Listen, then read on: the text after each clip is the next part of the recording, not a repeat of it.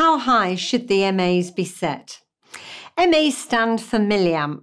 That's a unit of electrical current. The higher the MA, the more you will feel it. You can see the MAs on the screen of your controller. Once your controller is ready and the probe is inserted or the skin electrodes are attached, you can slowly increase the MAs by pressing the plus button.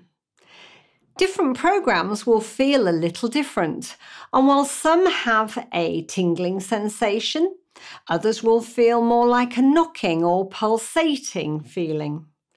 It's important to remember that you should not aim to have the MA set as high as possible, as this could potentially overwork the muscles and worsen your condition.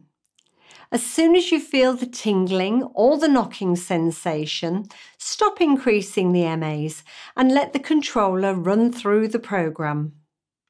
There is no specific MA figure that you should be aiming for. Some women may may not feel anything below 30 MAs, but for others, this may be too strong. It's all about personal preference and what your body feels.